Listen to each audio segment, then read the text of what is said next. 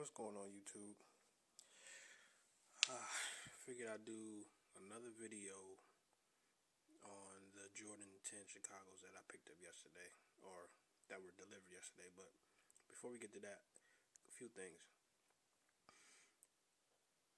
I am on YouTube just to give my own perspective on my experiences with picking up stuff whether it be replicas, authentic stuff, stuff I already had.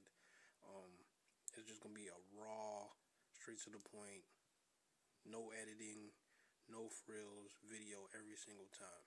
So if you want the um, the frills and the music and all that good stuff, take it over to the professionals, bus seats, Big Marty, Bomberman, all of them.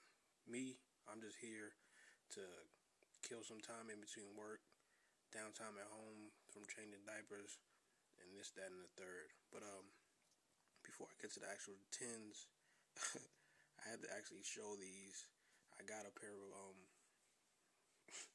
knockoffs from the thrift store yesterday, and I paid four dollars and fifty cents.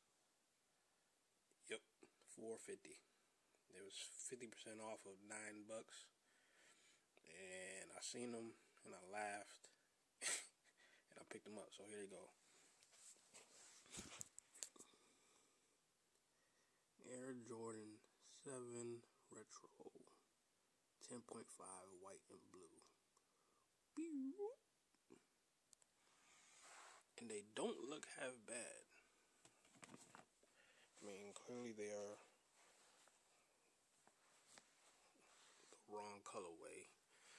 And uh, I noticed this first off, which is cool. But um, I'm not gonna. I don't even know if I'm gonna wear these. They're 450. If someone knows anyone that can give me a good hookup on like some customs, that'd be cool. But I don't even know if I'm gonna do that because I saw this. the Stickman Jordan insignia. That is effing terrible. Terrible.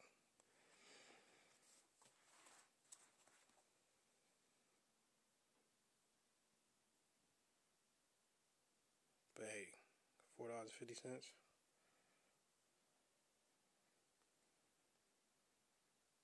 Yeah. Whoever had them kept them in pretty decent shape. Actually, kind of clean. So if you want them, inbox. If you know a good custom guy,